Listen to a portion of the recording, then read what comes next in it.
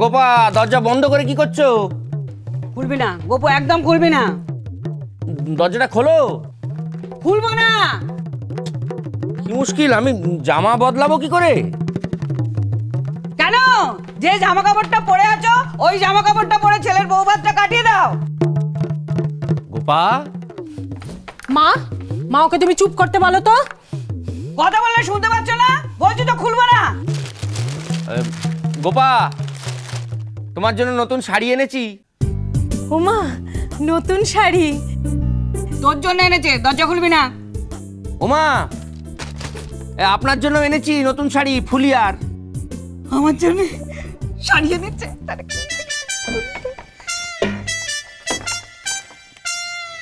শাড়ি এনেছো? ফুলিয়া? এসে ভেতরে এসো, ভেতরে, ভেতরে ভেতরে এটা কি হলো মা? হ্যাঁ আমরা যাব না তো সেটা ঠিকই। বাবা জীবন যদি যেতে চায় তো যাক না। কি শাড়ি এনেছি বাবা জীবন?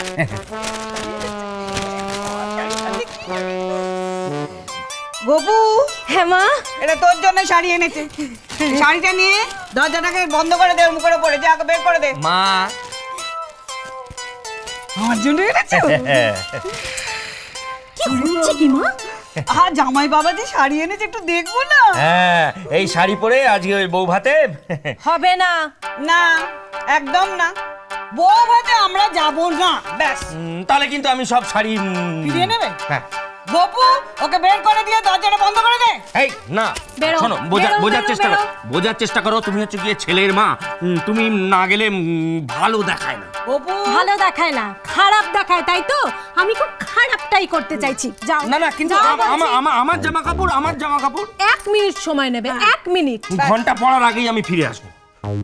এক মিনিট সময়। তাড়াতাড়ি করো। সাড়ে দশ সেকেন্ড। যাই তাহলে বিষ্ণুর ঘরে গিয়ে চেঞ্জটা করে ফেলি। মা দরজাটা বন্ধ আমি বন্ধ করছি দরজাটা তোকে করতে হবে না। না না। হুম।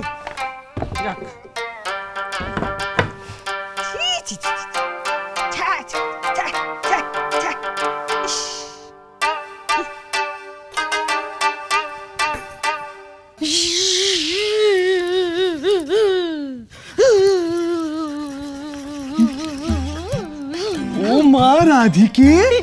চন্দন পাতা পেলে থেকে তুমি কি আমাকে একা বোকা ভাবো নাকি? বৌদি এগুলো আগে থেকে এখানে রেখে দিয়ে গেছে। ও রাখল বৌদি আর চালাক হলে তুমি? হলামই তো। ও মা সাদা চন্দন? আমার পুগলুটা কিচ্ছু জানে না। কালো চন্দন আমার হয় নাকি? তুমি দেখছি কিছু জানো না। চন্দন অনেক রকমের হয়। সাদা চন্দন, লাল চন্দন। আর সাদা লাল চন্দন দিয়ে সাজালে যে, সে কি সুন্দর লাগে না? কি হলো? ও মা, তাতে কি হয়েছে?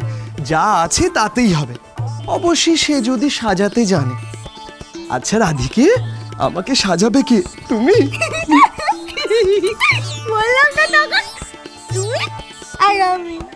ও মা আমাকে সাজাবে তুমি আর তোমাকে সাজাবো আমি। আচ্ছা আচ্ছা ঠিক আছে ঠিক আছে তুমি এখানে বসো আমি তোমাকে সুন্দর মিষ্টি করে সাজিয়ে দেই। আজ আমার কি সৌভাগ্য আমি নিজে হাতে আমার রাধিকাকে সাজাবো। ওই দেখি রাধিকে মুখটা দেখি। ও মা ও মা আমার কি মিষ্টি লাগছে খুব মিষ্টি।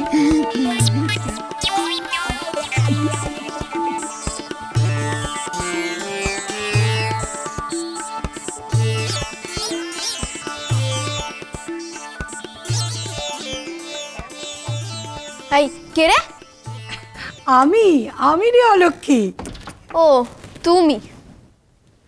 চন্দন। কার কপালে আলপনা আঁকবে গো মামি? কে মরেছে? ছি ছি ছি ছি ছি ছি ছি।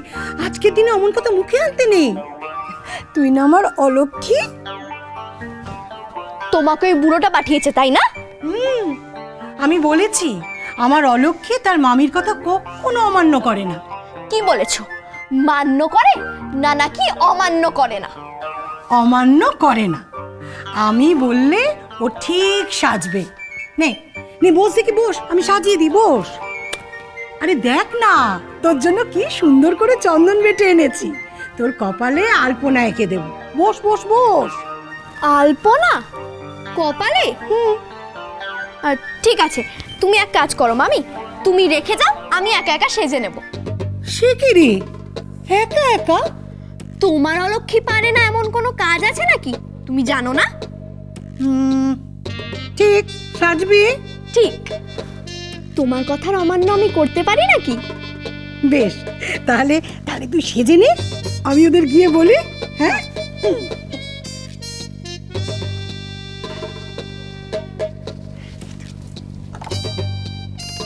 কি বলল? বলছে নিজে সাজবে। নিচে সাজবে? তাহলে মতি ফিরেছে। তো নিজে সাজবে কি? ওর যে মতি নিজে সাজবে তো? সাজবে সাজবে। আমার অলক্ষী কথা দিলে কথা রাখে এটা কিন্তু সত্যি। ও সাজবে। আপনি যান আমি ওকে নিয়ে আসছি। নিজে সাজবে? হ্যাঁ আমরা আসছি। আচ্ছা ঠিক আছে।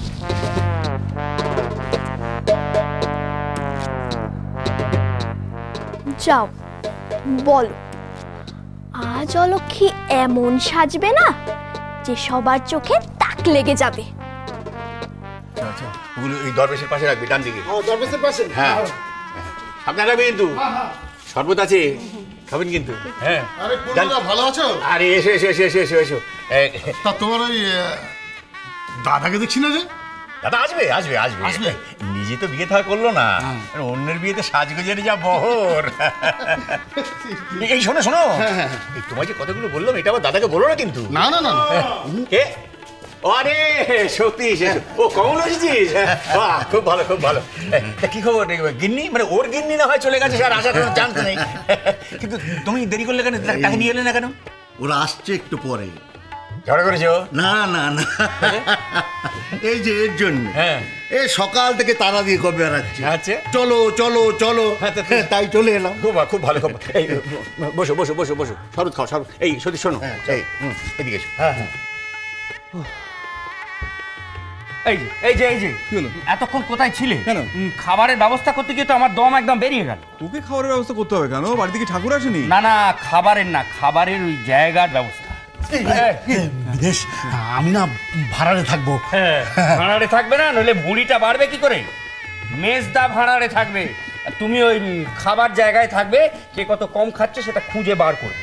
আমি খাবারের জায়গায় থাকব। একবারে ঠিক বলেছে তুমি তাই থাকবে। না না না এই ওদিকে কোথায় যাচ্ছ? আসলে কি জানিস ভাই আমি না একটা মাছ ভাজা লুকিয়ে রেখে এসেছি। ওটা খেয়ে আসি কিছু বাবাকে বলব? নাম বলিস ছেড়ে দে ছেড়ে দিলাম দিলাম যাও।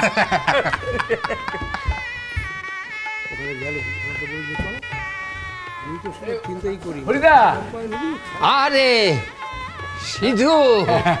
আরে বাপ রে বাপ এসো এসো এসো এসো, এসো, এসো। আরে ও পূর্ণ কোথায় গেলি? থাক থাক থাক থাক নাতির বিয়ে হ্যাঁ? সে তো খুব ব্যস্ত সে কি এখানে আছে নাকি? হ্যাঁ মোহন আমরা তো নিজেদের লোক। আমাদের নিয়ে আর ভাবনা কি? তা দাদা বউরা কোথায়? তোমরা তো নিজেদের লোক। খুঁজে নাও না। হ্যাঁ। সংসার সুখের হয় রমণীর গুণে।